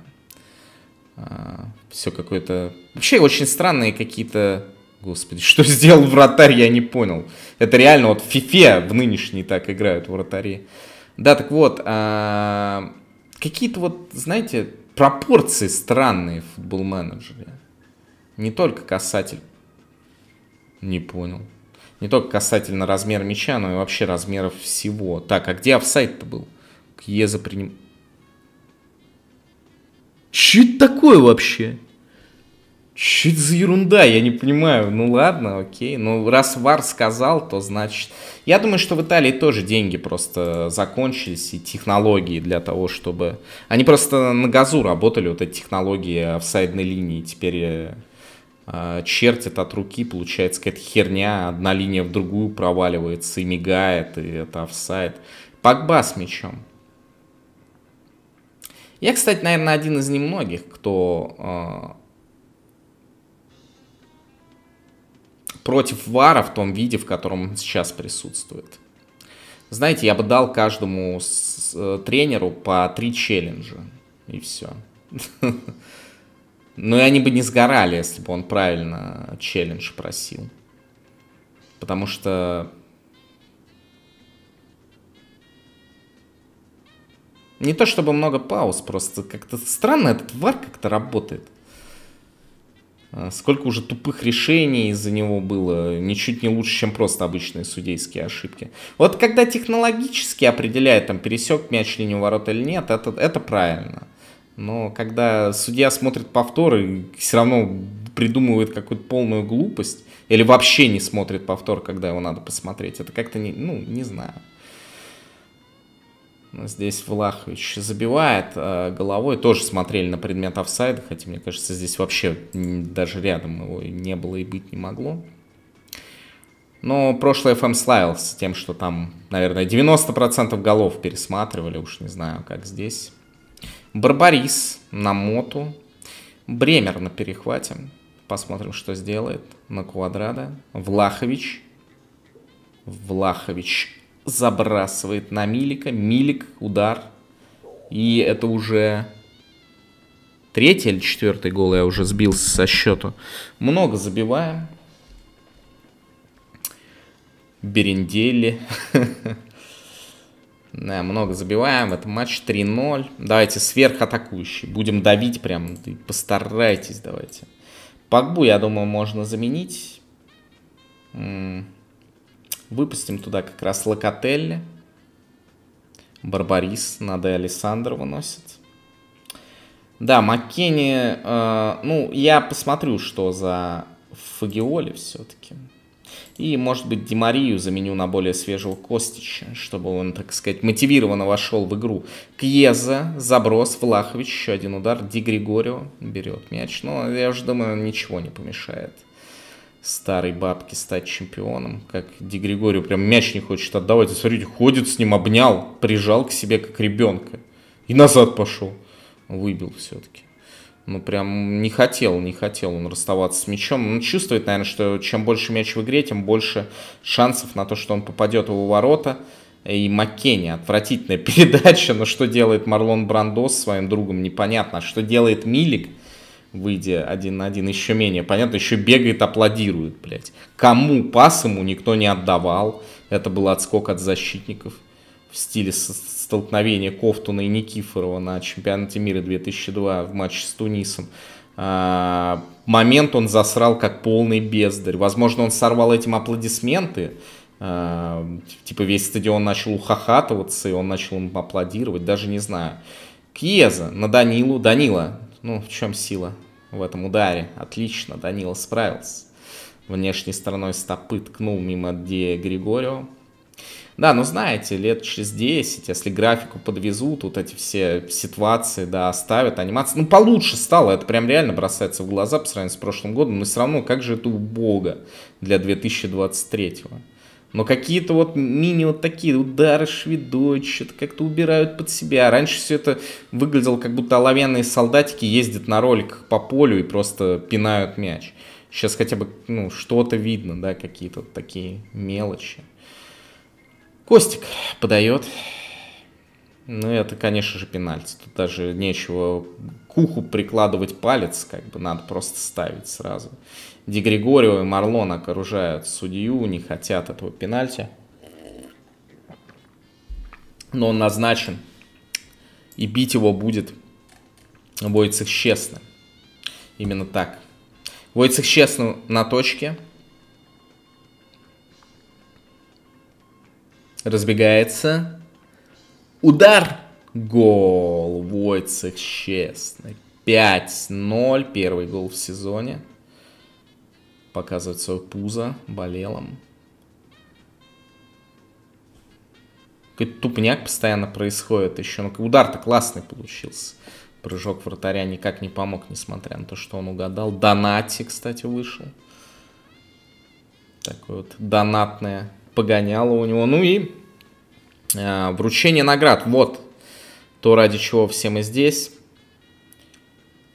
Э, Яна с панели доказала то, что, в общем-то, она гигант итальянского футбола. Даже стоя не на пьедестале, она выше всех игроков.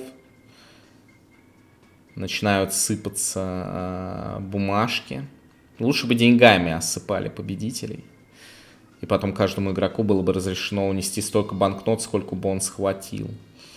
Ну вот, э, какой-то любимчик несет э, серия А, главный трофей. Ну, главное, чтобы она не съела никого.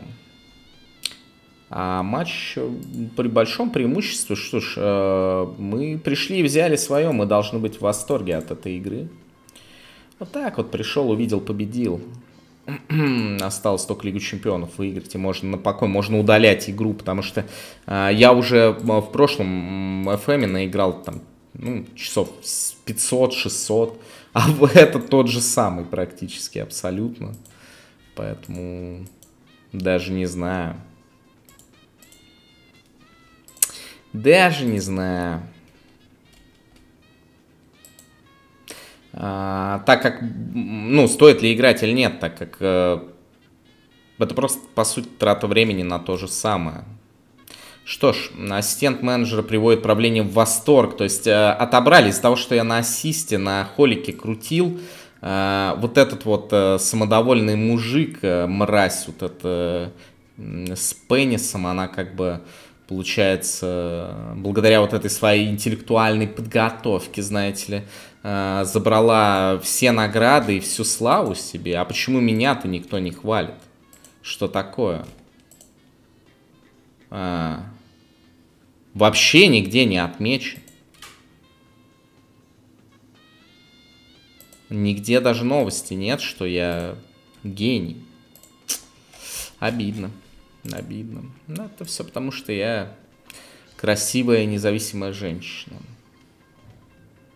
С интеллектуальной подготовкой всего лишь 14, что, конечно, меньше, чем ассистента. Но Два матча я сыграл, и я считаю, что вот этот матч с э, Браянзой это важнейший был матч, то есть без него ничего бы не получилось. Ладно, давайте посмотрим, что у нас получается. Душин э, Влахович стал лучшим бомбардиром, он вообще наколотил 47 в этом сезоне, из них 32 в чемпионате. Милан занял второе место, Аталанта третье, Лацио четвертое, вылетела Самдория, увы, с последнего места. Но и в реальности большие проблемы, а, к сожалению, этого прекрасного клуба. Что ж, давайте посмотрим, а, что у нас в Бундеслиге. А в Бундеслиге у нас а, чемпионом внезапно стала Бавария. Э, из такого, что может сильно удивлять, это, наверное, высокая позиция Вольсбурга и очень высокая позиция Герта, которая тренирует Сандра Шварц. А вот э, Лейпциг э, тренирует уже Марка Роза. То есть э, там же вроде работал этот бывший тренер Спартака, но его и в реальности прогнали, и, видимо, здесь тоже. Э, может быть, он уже на начало сейва отсутствовал. Лучший бомбардир Серж Ганабри, а вот такой вот футболист. Прекрасный. Ну и Шальки снова вылетел с последнего места. Смотрим, а, что произошло в, в Англии. В Англии английская премьер-лига это важно. Манчестер Сити чемпион. Причем, смотрите, Эрлинг э, Хагеланд забил всего 18 голов и 31 сезон. Это без травм. То есть он реально вот так вот плохо выступил. А, Александр Ишак 20 мячей, Габриэль Жезус забил больше. Даже Кай Хаверт стал лучшим бомбардиром, то есть человек, который, в принципе, ну, не совсем даже и нападающий. При том, что ну, Манчестер Сити чемпион, очень странная действительно статистика. Вылетел на Тингенов Форест с последнего места, а из интересных результатов ну, высокая позиция у Ливергемптона, наверное. Так, и идем дальше. Что еще э, можно посмотреть? Получается, Испания, там, где трудился. Э, так, не то. Прошу прощения. Там, где трудился наш э, прекрасный Нгае. Увы, Ях, Барселона. И из-за него тоже только на четвертом месте. Левандовский, впрочем, лучший бомбардир. Ну и тут ну, в общем-то, все стандартно. Вильяреал третий, разве что выше Барселоны. Но понятно, почему, я думаю. Атлетик из Бильбао. Видимо, какой-то кубок выиграл. А, смотрим а, Италию мы только что смотрели. Смотрим Россию. Российская премьер-лига. А, Тулу выбила Оренбург. Кстати, Оренбург довольно крепкий сейчас состав в реальности. Я думаю, что им не грозит вылет. Факел спасся в стыковых с Уфой. Чемпионом стал «Зенит». В какой-то момент у них был отрыв что-то типа 20 очков, я так смотрел краем глаза. В конце 16 от Сочи, который на втором месте. А, второй год подряд, получается. Вылетел торпеда еще с Уралом. Ну, Динамо третье, ЦСКА четвертое. Удивительный провал Спартака, лишь восьмое место. Локомотив девятый. А лучшим бомбардиром стал Иван Сергеев – Смотрите. Адольф Гаич забил 13 голов. Такое возможно только в виртуальной вселенной, скажем. Прям, ну и Франция. Там, кстати, Монако давал бой. А, опять не то нажал. Там Монако давал бой. Не знаю, чем это закончилось. А вы знаете, все равно ПСЖ стал чемпионом. 24 мяча а, Килианом Мбаппе. Давайте вот на что посмотрим. А, что в Лиге Чемпионов, чем все закончилось. Бавария Реал будет финал. Вот были полуфиналы, ну не знаю. Пожелаем удачи Баварии, которая нас прошла. Проигрывать-то всегда приятнее сильнейшему. Так, а, и получается, надо посмотреть тогда клубные турниры еще э, Лигу Европы. Там у нас уже закончился финал. Арсенал победил Боруссию. И есть же еще теперь какой-то ультрапомойный кубок. А, Лига конференции. Здесь финал будет Вильяреал Фиорентина. Ну, довольно тоже сильный финал. Как по мне, вот э, такой вот э, тестовый сезон в FM, но я не впечатлен.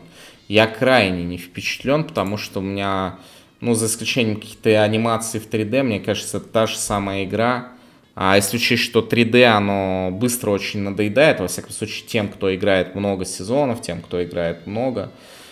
А, мне это напоминает чем-то вот недавнюю, недавнюю, недавнюю игру Формула-1 менеджер. Там тоже довольно прикольная 3D, но а, контентное наполнение полный отстой. То есть в игре абсолютно нечего делать и между гонками, а сами гонки жутко заскриптованные и убогие. А, бесконечные вот эти обгоны в DRS э, с помощью ERS и и паровозики, да, и это даже не фиксит, то есть патчи больше не выпускают, а в игре вообще нет контента, даже по сравнению с мобильным мотоспорт менеджером. Здесь то же самое. Это все уже 10 лет не меняется. Вообще ничего, только база меняется с игроками, и все, обновляют они ее. А 3D матч это, ну, как бы он да, он стал получше, но, блин, мне даже смешно об этом говорить, потому что наверняка, если долго играть, то там на, вылезут проблемы с какими-то штангами или еще чем-нибудь, или еще какой-нибудь туфтой. И эти маленькие анимации, которые стали там чуть-чуть поприятнее, они же все равно говно, потому что общий уровень э, этого 3D-матча, его исполнения графического, он ну, крайне низок. Это до сих пор какое-то схематич... схематичная какая-то блевотина из э, прошлого века, то есть э, на, ну, даже FIFA менеджере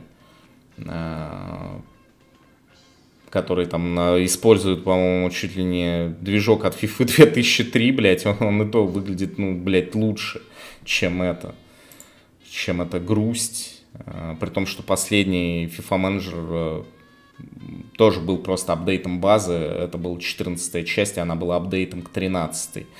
Э, не, не поменялась игра, то есть игра не выходит уже на протяжении 9 лет. А здесь, ну, да, она выходит каждый год и вообще ничего не меняется. То есть, если что-то меняется, то настолько по минимуму, что... Причем большинство из этих изменений, они вообще не юзаются. А некоторые типа новой системы скаутинга, они даже стали, ну, э, хуже, чем были, на мой взгляд, раньше когда-то, еще когда все это было иначе. Короче говоря, 15 э, тысяч тенге это вообще не стоит, ну абсолютно не стоит, ну совершенно не стоит. Я э, рекомендую даже ну, не заморачиваться и не покупать, потому что для того, чтобы купить, надо заморочиться. Увы, почему-то вот это вот э, из года в год делание одного и того же, оно не приводит к тому, что эту игру перестают покупать или к падению онлайна. Она супер популярна в Великобритании, да и по всему миру. И, на мой взгляд, ее э, аудитория только растет, потому что старички продолжают играть, новые игроки, там, молодежь, интересующаяся футболом, э, тоже постепенно вливается в ряды старперов, э, любителей табличек, и э, они так и будут делать, то есть 24-й опять будет тем же самым, я, да, не, уже не дождусь э, того момента, когда они скажут, все, это дерьмо заебало, мы делаем полностью все заново, нормальный делаем интерфейс, чтобы не надо было там ставить э, скины, э, ну, то есть вот эту тему, которая делает интерфейс более дружелюбным. Мы перерабатываем полностью там тренировки, там, финансы, э, селекцию, скаутинг, э, систему потенциалов делаем иной, то есть э, как-то по-другому взглянем на все это, потому что это все не идеально работает. Да, лучше никто ничего не придумал, но я уверен, что даже внутри серии Футбол Менеджера были какие-то решения более адекватные, чем то, что сейчас э, есть, э, связано с, тем же, с той же селекцией, к примеру. Но э, никто вообще не шевелится, то есть только обновляется база данных. Матча, движок в глобальном смысле, не вот эти вот изменения движка, то, что там пару анимаций завезли и перебалансили, что теперь там вместо Центродавилова будет какой-нибудь Дрочилова флангов, или пасы в разрез, или, блядь, еще какая-нибудь хуйня. А вот именно концептуальная переработка, абсолютно новый графический и матчевый движок, и это вообще, наверное, даже, я не знаю уже, когда это произойдет, это решение созрело, на мой взгляд, ну, блядь,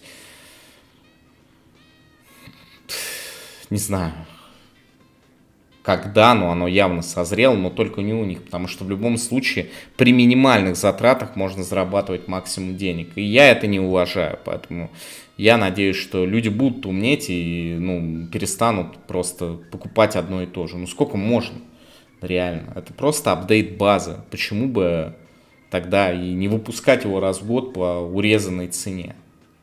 Что, ну, отличие... Вот между прошлой и этой частью, ну, я не знаю, но это просто одна игра, одна и та же, просто абсолютно одна и та же игра.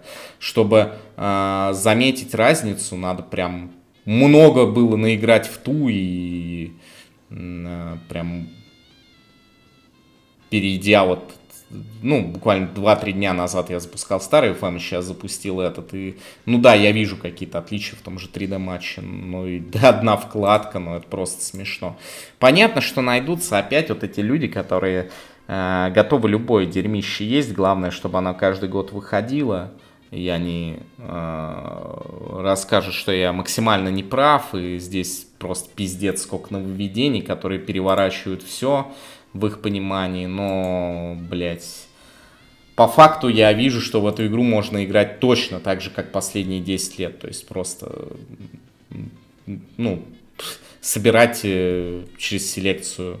Или даже уже можно не париться, уже все автоматизировано, то есть тупо через спортивного директора собирать какой-нибудь состав и вот, например, Иван Нильсона советует купить. Отличное предложение. Все, забираем Ивана Нильсона. Мне уже даже игроков искать не надо. Все за меня игра сама делает. То и набираю там бистов, э, лутаю бабки на международной арене.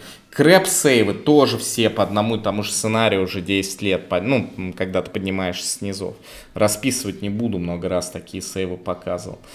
Короче, блядь, ну ничего нового, ничего, что может заинтересовать, ничего, что может заставить сидеть и тратить часы. Потому что уже все это было а, тысячу раз. Просто вообще, ну, блин, я даже не могу. Вот какой интерес, вот что я могу придумать, а, чтобы этот интерес зародить. То есть какой-то сейф с какой-то извращенной концепцией. Ну, есть у меня пара идей. Но по факту я мог то же самое делать в 22-м FM и не тратить 15 тысяч тенге. Короче, пизду, не покупайте. Мое мнение такое, я думаю, что большинство людей со мной согласятся. Эту часть можно смело пропускать и ждать. Может быть, через одну заведут, завезут еще какие-нибудь 2-3 э, фишечки в меню, э, и уже, ну, трата будет более оправданная. А к 2028, может быть, я не знаю, там, сделают тренировки в 3D там, или еще что-нибудь. Э, появится уже действительно реальный стимул на распродаже взять. Но мне кажется, вообще ничего происходить не будет. Так и будет вот это... Э, вот это вот, как было, так и будет. Одно и то же. Из года в год, из года в год. Пока люди, э, пока западная аудитория это покупает, пока продажи не просядут, никто не, ни о чем беспокоиться не будет. Ну и так как это все-таки нишевая тема, да, то я думаю, что здесь еще и не будет конкурента никакого. Хотя я думаю, что при желании а, те же электроники, при, все, при всей моей нелюбви к ним, и я понимаю, что их менеджер это тоже будет бесконечно. Если они вдруг снова возродят, например, тот же FIFA менеджер, это будет абсолютно тот же самый бесконечный рескин, а, но с обновлением датабазы но э, там э, хотя бы э, я чувствую, что может быть какой-то свежий подход, и спрос на это есть, потому что я видел реально сумасшедших фиферов, которые запускают карьеру играют в карьеру в фифе как в менеджер, то есть, ну, по факту так можно делать, но это уж совсем какой-то ультра примитив. Казалось бы, возьми тех же чуваков, которые когда-то там, ну вот они делают Total Club Manager, потом электроники их купили, сделали FIFA Manager, найди таких же чуваков, которые шарят, э, или там чуваков, которые делают какие-нибудь любительские менеджеры, которых полно в стиме, пусть они сделают вот эту всю часть, да, с табличками и всем остальным, а, а от электроников требуется только нормальный матчевый движок и все, по факту это будет а, вполне себе играбельно и не так сложно. И будет хоть какая-то конкуренция. Но пока конкуренции нет, вот что мы видим. Опять 25, опять то же самое. Абсолютно, абсолютно то же самое. Всем удачи, увидимся.